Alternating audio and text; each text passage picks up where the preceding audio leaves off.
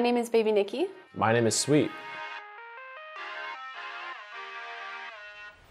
Uh, well, my childhood, I grew up in a military family, so I've always moved around, and moving around from state to state was hard to keep friends. So gaming has helped a lot with that because obviously you can connect through people just all over the world, and it doesn't have to be an in-person interaction.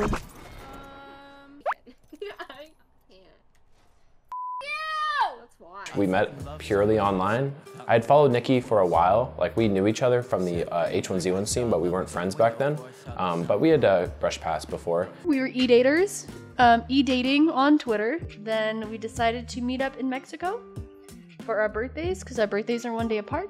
One thing led to another, and we were living with our parents at the time, and Meeting, meeting up for the first time at someone's parents' house is always kind of awkward, especially for a long distance relationship. So we were just like, you know what, let's go to Mexico. And she took her a while to trust me with that because we hadn't met in person yet. Needed some convincing. We met in the Atlanta airport, traveled down to Cancun, and it was what started our amazing relationship.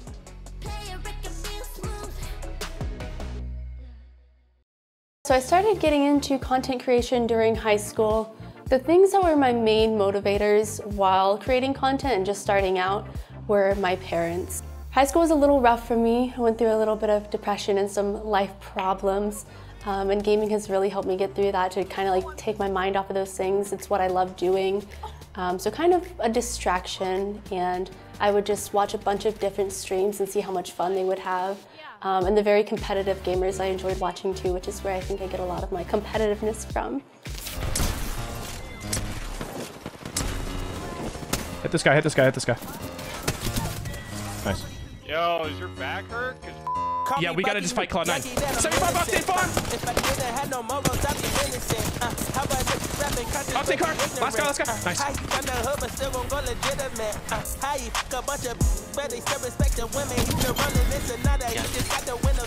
Combat Wattson. Combat Wattson. Oh, you are terrible. So JMare GM has this really incredible ability to find talent right before they're about to blow up, especially the ones who are super competitive. At a young age, I started watching Counter-Strike and I just fell in love with the competitive scene in that game. So pretty much every game that I tried to play in, I tried to kind of bring back to what I learned in that competitive scene in CSGO and kind of build from there.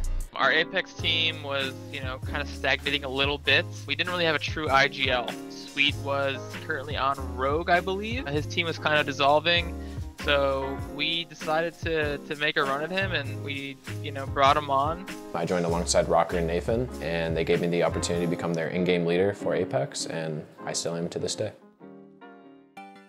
My one big moment that really kind of helped me start Accelerate and see more success was getting rated by bigger streamers and one in particular was LuluLuvely. People that I've looked up to, like, I mean like Lulu, she's like picture perfect image of uh, a woman streamer, in, in my opinion. She's great. She's one of my good friends. Um, but after that host, I started seeing about a, a, double increase in my viewership. Hi, Rachel. Oh, thank you, love. How are you? Mel, thank you for the 20 months. Is opening gifts from my, my wonderful Monty.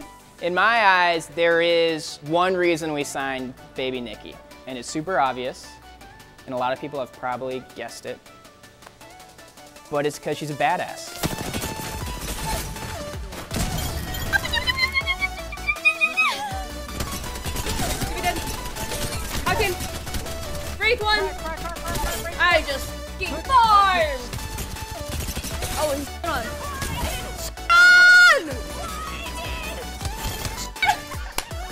Nikki really caught our eye just with how skilled she was. Um, I actually got to spend some time with her as well at a bunch of Apex LANs. Got to see how genuine and passionate she was about gaming and streaming. I think it's safe to say she's also one of the best female Apex players in the world, and that's no small feat. So to add a creator of that caliber to our roster, it was uh, it was kind of a no-brainer.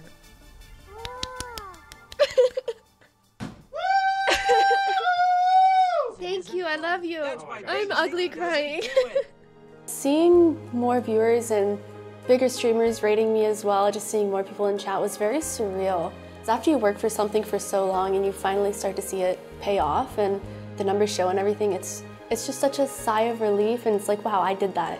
You know, you just have to grind those hours off stream to become the best, to be able to compete amongst the best. But when you're in it, you shouldn't be wanting to take days off. You know, when you're in the grind and you're pursuing something you love, you should be, you know, sad when you have to take a day off. And that's the ex exact moment that I felt like I was really doing something I was passionate about. I've been enjoying solo queuing. I don't know. It's pretty fun, not gonna lie. Like when you lose, when you lose a, a full team of my friends and we're all pro players, I think, wow, we suck. We just lost. But when I'm solo queuing and I'm playing with two people I've never met that are in platinum, every time we win or do well or win a fight, I think, wow, let's go. So, you know, good. It's kind of fun.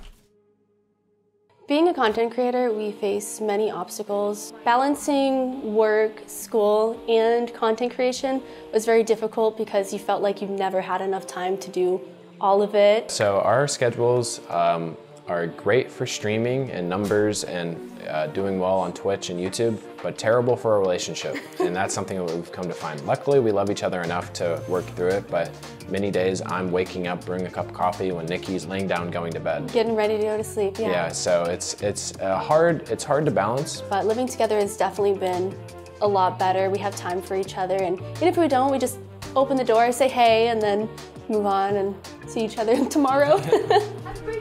Thank you. I love you. Don't kiss me. I'm sick. Mm. Nope. Mm. I'm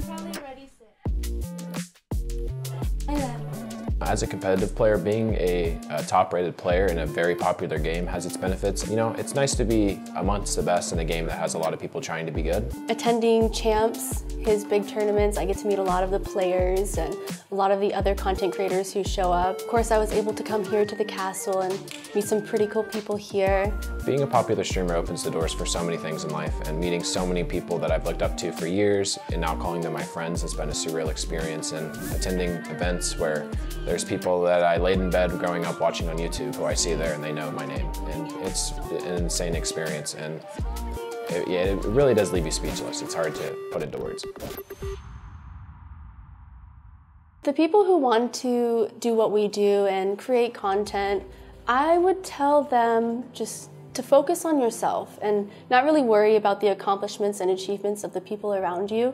Just focus on yourself, work on yourself, work on your brand. And sometimes the things that will make you uncomfortable are the things that are good for you. Sometimes you need to step out of your comfort zone and grind. I think that baby Nikki, she's an incredible content creator, and ever since she has signed to NRG, she has used that momentum, streaming every day, building her community, and I just think that she is going to continue to explode into one of the biggest creators in the space. The word grind is thrown around a lot, but knowing what to grind for, you know, grinding whatever your niche is, whatever makes you different from other people, and you know, separating yourself from others is where you're going to see the most success.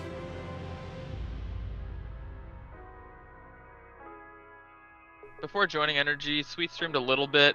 I think since joining NRG, uh, he's put a lot more focus on it, and I think the NRG platform itself is, has helped him a lot. So his numbers have just uh, exploded. He's become, you know, one of the biggest Apex streamers out there. He's gonna die. He's gonna die. Stay there. Stay there. Stay there.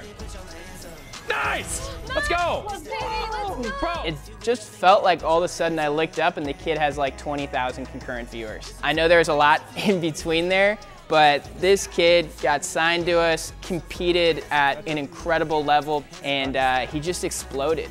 Oh my God. The phrase hustle on means to keep your head down, grind, do what you gotta do, but in a very respectful manner and as honest as possible. So the phrase hustle on, I think, captivates kind of just the mentality of becoming involved in esports. Uh, you know, a hustle is both something that you are attached to and are doing actively, but also something that you can change when you need to. So, you know, being able to adapt on the fly and changing with the times is really important. And, you know, hustling is definitely the embodiment of esports.